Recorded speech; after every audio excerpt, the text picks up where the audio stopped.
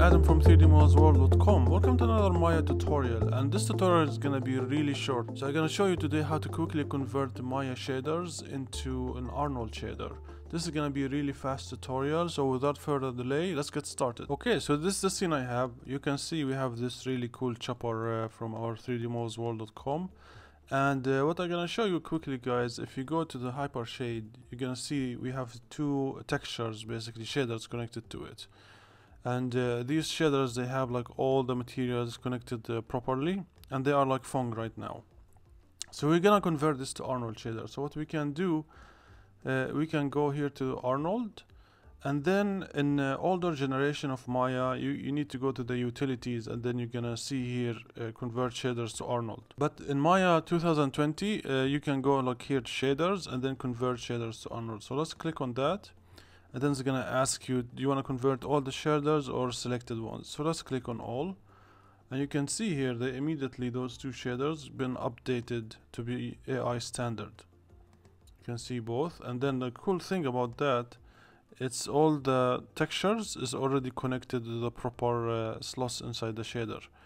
So that's all what you need to do in order to convert the materials you get into like an Arnold shaders. So they could be any kind of materials okay so right now it looks like black in here. Let's uh, create like a light.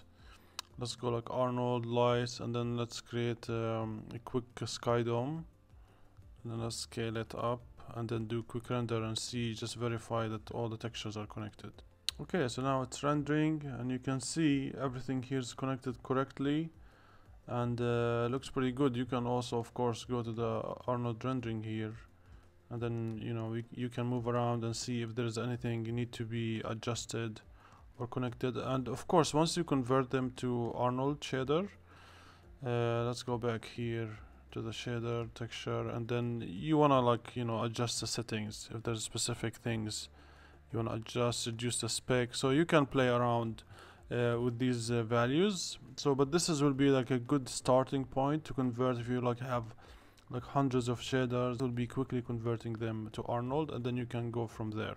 So that's it for this tutorial. It's really quick and uh, hopefully this help you guys convert your uh, shaders quickly to Arnold. So please subscribe to our YouTube channel and feel free to visit our website 3dmodelsworld.com take care and have a great day